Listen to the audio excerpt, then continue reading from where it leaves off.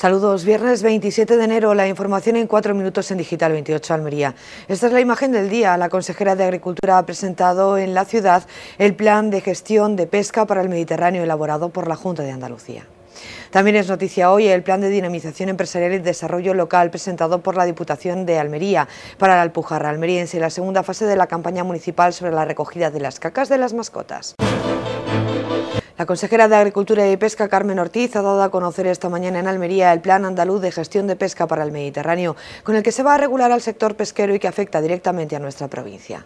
Un plan que, como ha explicado Ortiz, se ha elaborado junto a los profesionales del sector y con el que nuestra comunidad autónoma pretende adelantarse a las reformas que en materia de pesca en el Mediterráneo va a implantar la Unión Europea.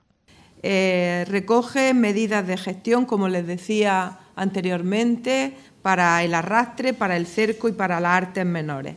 Y sobre todo para especies, las especies más representativas en el mar Mediterráneo, como puede ser para la merluza, para el salmonete, para el jurel o la sardina.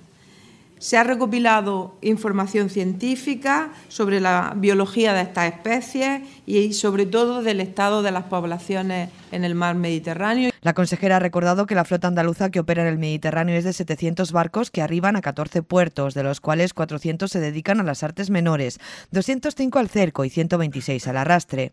El sector pesquero que genera en Andalucía más de 3.000 puestos de trabajo directos y 4.000 indirectos, apuntando que durante el pasado año la producción pesquera alcanzó más de 14.000 toneladas y generó más de 40 millones de euros.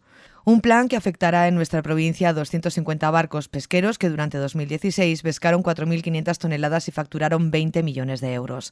Para la elaboración de este plan se ha tenido en cuenta la pesca mayoritaria de los pesqueros, especies como los jureles, la bacaladilla, la merluza, los salmonetes o los boquerones. Así se establece que en cuanto a la pesca de arrastre, la actividad total anual deberá ser de 210 días y la media de las mallas de pesca será de 5 milímetros. En cuanto a la pesca de cerco, el tope de las capturas de sardinas se establece en 22.000 1.500 kilos semanales.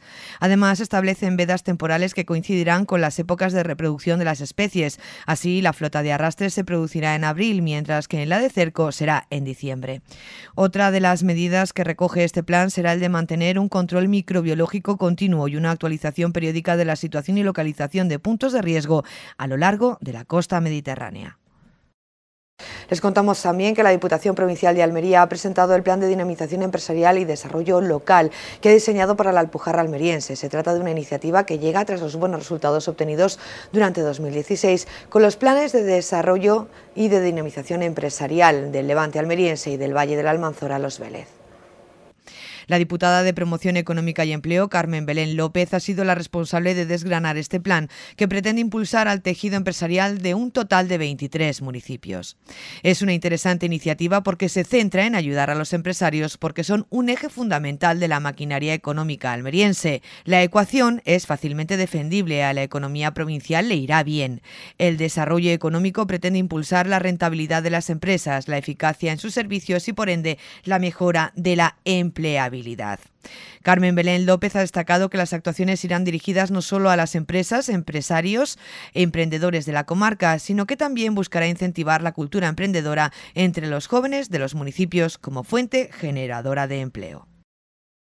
Y la segunda fase de la campaña Todos sufrimos tus cacas, ¿por qué no las recoges?, que tiene como objetivo sensibilizar a los ciudadanos sobre la necesidad de colaborar en la recogida de los excrementos de nuestras mascotas, especialmente de los perros. Se va a centrar sobre todo ahora en los más pequeños de la casa, para lo que se realizarán acciones lúdico-formativas en los colegios y con el propósito de llegar a un millón de alumnos de entre 5 y 7 años, porque es fundamental crear comportamiento y convivencia desde las edades más tempranas, según ha explicado el concejal de Servicios Municipales, Juanjo Alonso.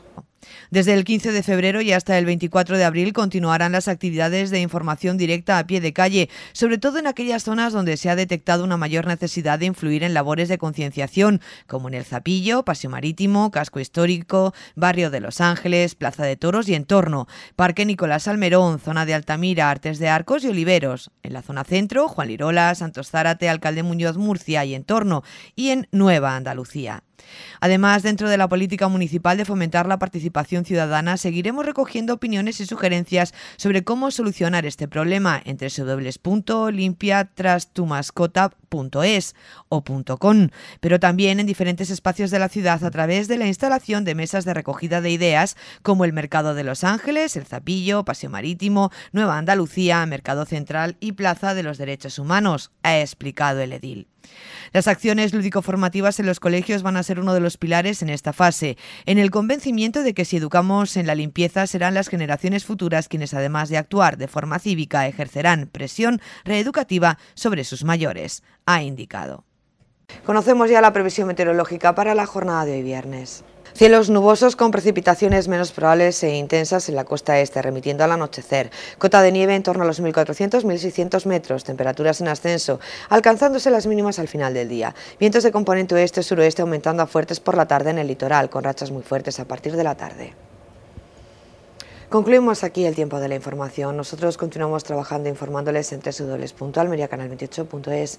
Buenas tardes y buen fin de semana.